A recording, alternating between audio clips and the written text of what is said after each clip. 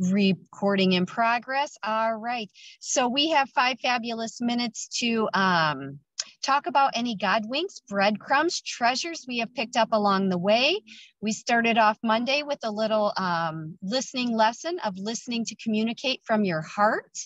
And then Friday, we will be following our passion. So if any of that stirs up anything inside of you, now is the time to let us know what it is.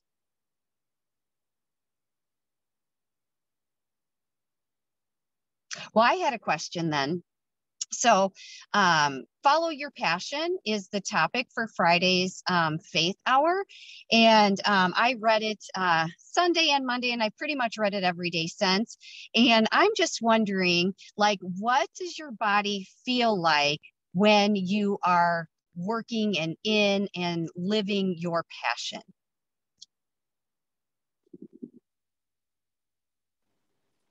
The word that comes to mind for me is energy. Hmm. It's when I feel like um, it, I'm, and it's not like, it's like I'm in ease and flow.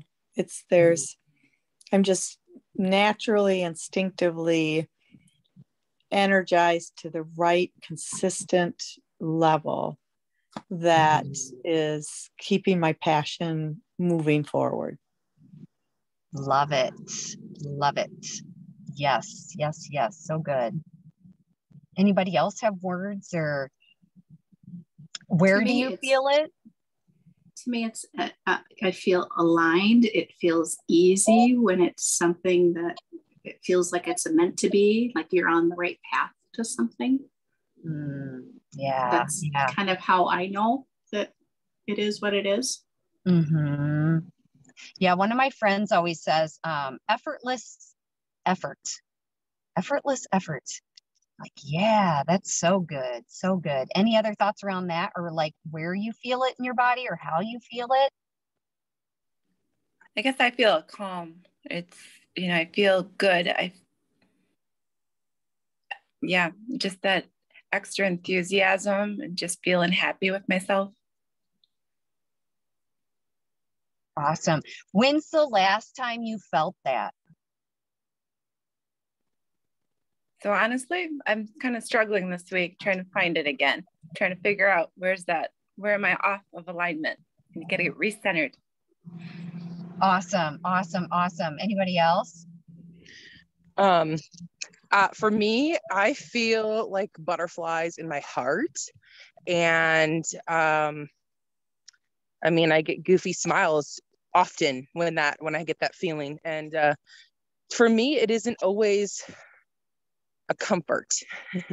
for me, mm. it is uh, the kind of like an uneasy, comfortable space because I've trained myself to be comfortable in the uncomfortable, mm-hmm. which is um, continuously stepping out of, you know, where I feel um, my energy and my excitement going because generally that's things that I've never done before.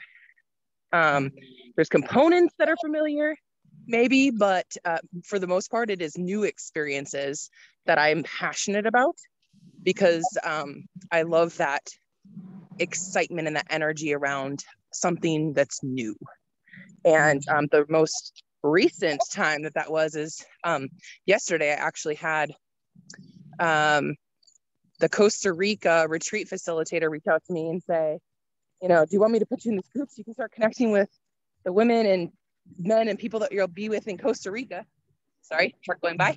Um, and I was like, I am always ready to start connecting with people that I will be shoulder to shoulder with um, at an event. So whenever you feel comfortable with putting me in there, like, let's do it.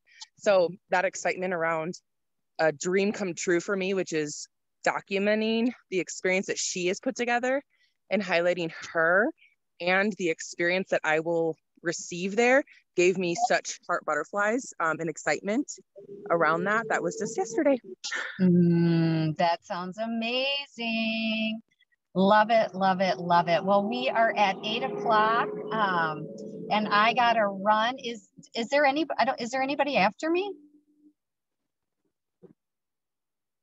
I don't think so. No. Okay, okay. It's been amazing to start my day with you ladies. As always, I will see you in the next couple of days. Love Good to see ya. you guys.